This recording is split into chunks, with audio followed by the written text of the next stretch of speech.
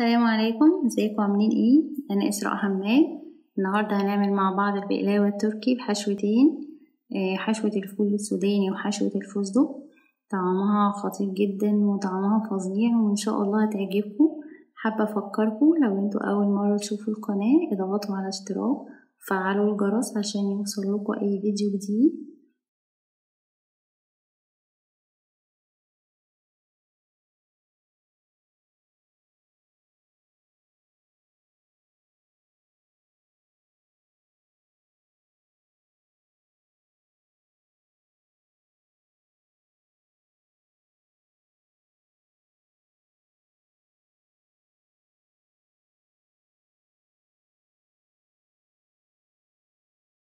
المقادير بتاعتنا. عندي آه، فستق مفروم بس مفروم خشن وفول سوداني برضو مفروم خشن وفيه قطع.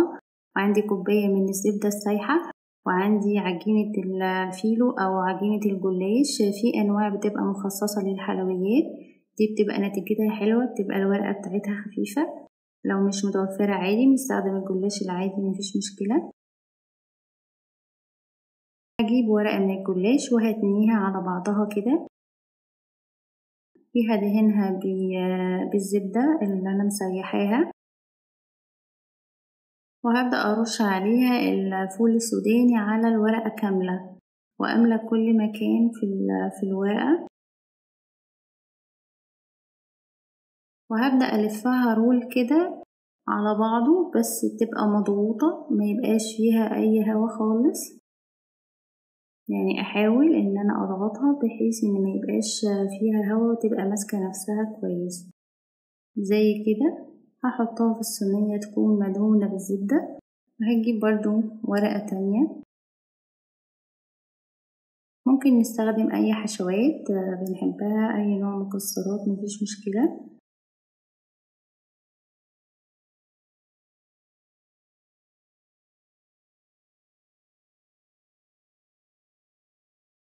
بالنسبة بقى لحشوة الفستق أنا عايزة الورقة تبقى لونها أخضر شوية فبجيب لون وبحطه على الزبدة. آه، يدوبك نقطتين من اللون الأخضر وأحطهم على الزبدة بتدي لون أخضر شوية فبدهن بيهم ورقة ورقة الجلاش. وبعدين أحط الفستق اللي أنا فرمته برضو آه، على طول الورقة كاملة زي كده بملى الورقة. آه، بتدي لون جميل هو الفستق بيدي لون أخضر. بس بزيادة اللون اللي أنا بحطه على الزبدة فبيديها لون جميل جدا.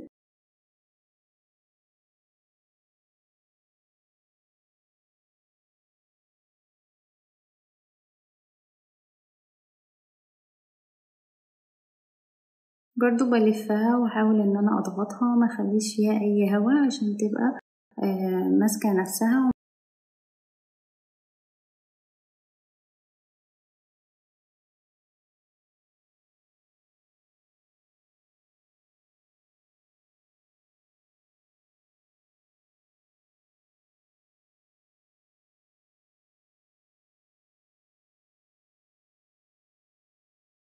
بعد ما لفيت كل الكمية باين الفرق ما بين الجلاش والفول السوداني باين الفرق في اللون.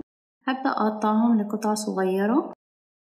مقاسات صغيرة كده بتبقى شكلها حلو قوي في التقديم.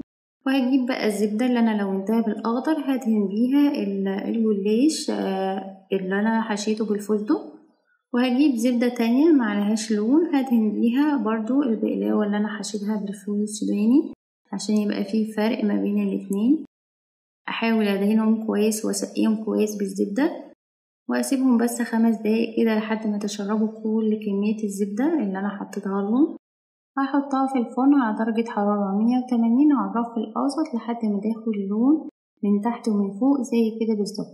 وهي سخنة هسقيها بالشربات البارد. وقلنا مقادير الشربات تلات كوبايات من السكر عليهم كوبايتين من المية. أول ما تغلي أحط عصرة ليمونة وأسيبها تغلي لمدة عشر دقايق وأحط عليها فانيليا في الآخر. أدي شكلها شكلها جميل جدا آه، تحفة. يعني البقلاوة التركي دي طعمها رهيب وبتبقى دايبة كده. آه، إن شاء الله لما تجربوها تعجبكم. هرش بقى عليها من فوق كده شوية آه، فستق بزيادة حلاوة يعني.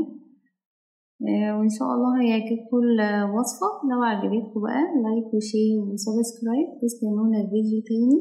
السلام عليكم ورحمة الله وبركاته.